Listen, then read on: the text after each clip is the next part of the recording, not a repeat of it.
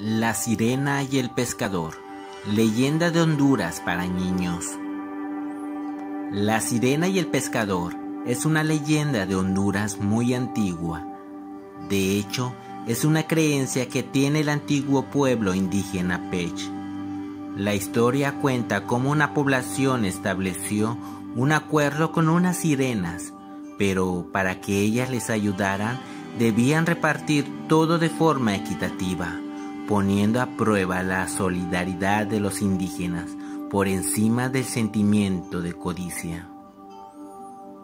La leyenda indígena de la sirena y el pescador cuenta una historia del antiguo pueblo indígena hondureño de Pech que hace mucho tiempo un hombre que salía a pescar muy a menudo por el río Wampu, sobre todo durante la época del verano, se hizo amigo de una sirena la sirena acordó con él ayudar a todo su pueblo si se reunían en una asamblea de forma civilizada, pescaban y cazaban solo necesario para comer y repartían todo de forma equitativa.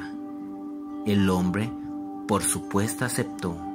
Así que desde entonces el hombre navegaba hasta un lugar conocido como el Chorro, y ahí convocaba a más personas que se organizaban para cazar y pescar.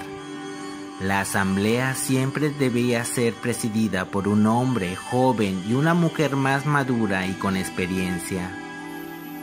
Antes de salir a pescar y a cazar, hombres y mujeres pedían a las sirenas que les ayudaran para conseguir muchos peces y muchos animales en la zona. Ellas escuchaban sus ruegos y respondían con dulces cantos. Cuentan los más ancianos que la mayoría de las veces las sirenas aceptaban tomar junto con los indígenas una bebida que ellos preparaban y elaborada con una mezcla de cacao, yuca y guacales. Después, una vez que terminaban de cazar y pescar, repartían los peces y animales entre todos, tal y como habían acordado con las sirenas. Asaban allí la carne y regresaban a sus casas con el alimento. Durante mucho tiempo existió este maravilloso pacto entre hombres y sirenas y todos eran muy felices.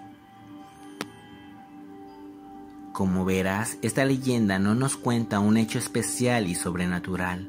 No es una historia de amor ni de transformaciones es una historia de convivencia y solidaridad. Puedes hablar con tu hijo usando esta preciosa leyenda sobre todo, porque debemos aprender a convivir. Esta leyenda nos demuestra que se puede convivir en paz llegando a un acuerdo equilibrado y sobre todo respetando las normas establecidas. Todos los indígenas colaboraban para que no faltara alimento y además estaban de acuerdo en el reparto de alimentos Cazara lo que cazara cada uno, el resultado era una convivencia en armonía y paz.